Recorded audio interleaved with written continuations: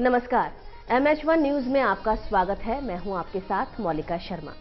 दीपावली की रात माँ लक्ष्मी के आगमन की रात मानी जाती है।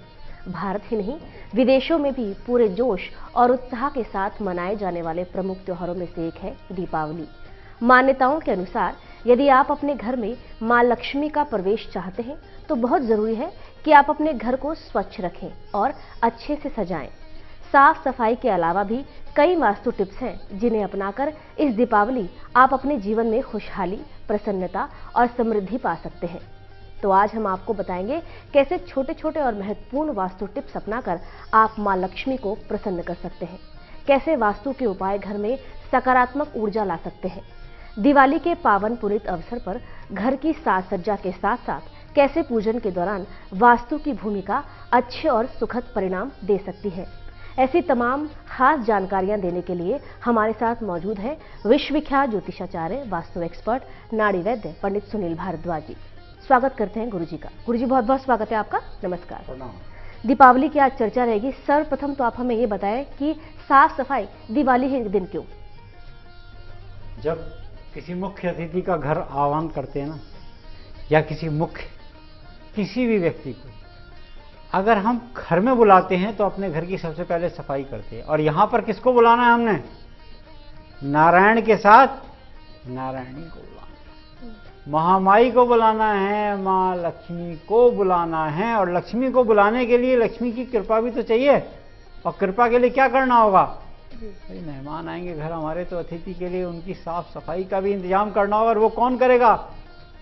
हर प्राणी करेगा। जिसको अपने घर में महामाई को प्रसन्न करना। बिल्कुल। कहाँ से शुरुआत की जाए और कहाँ पर खत्म? सवाई के विषय में आप हमें बताएँ। देखिए अगर शुरुआत की बात करें तो यहाँ पूर्व से। पूर्व उत्तर से उत्तर पूर्व यानी ईशान। ईशान वो स्थान है नमामि शमीशान निर्वाण रूपम। कहाँ रहता हूँ? कहाँ का वासी हूँ? ईशान का वासी। ईशान वास्तु पुरुष का सिर है।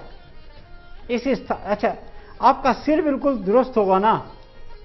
हमारे यहाँ एक और बात कहा कहते हैं सर ठंडा पेट नरम पैर गरम। पैर गरम पेट नरम सर ठंडा तो डॉक्टर को मारो डंडा। यानी कि फिर ज़रूरत नहीं है डॉक्टर की तो आप दुरुस्त हैं।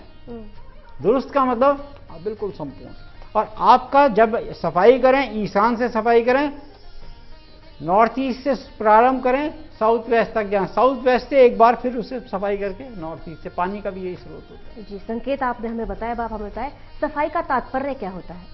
बहुत सुंदर तात्पर्य जब आप आप दो दिन से स्नान ना करो आपके शरीर में क्या होगा? बहुत लेजीनेस लेथार्जिकनेस एकदम डाउजीनेस लगेगी। आपको लगेगा बिल्कुल आलस बहुत आ आलस कटु विद्या न धनम। अब यहाँ धन की बात हो रही है क्योंकि लक्ष्मी जी साथ जुड़ी हैं आपके। लक्ष्मी जी साथ जुड़ी हैं तो आलस नहीं आना। आपने सफ़ाई के लिए सबसे पहला काम क्या करना है? अपने शरीर की सफ़ाई करनी है। फिर उसके बाद आपने अपने घर की पवित्रता बढ़ाना। पवित्रता के बाद ही देवता का वास होगा। और लक्ष्मी जी को सबसे ज़्यादा प्रिय क्या सफ़ाई। सुंदरता, सजा हुआ, साज सज्जा से सजा हुआ घर।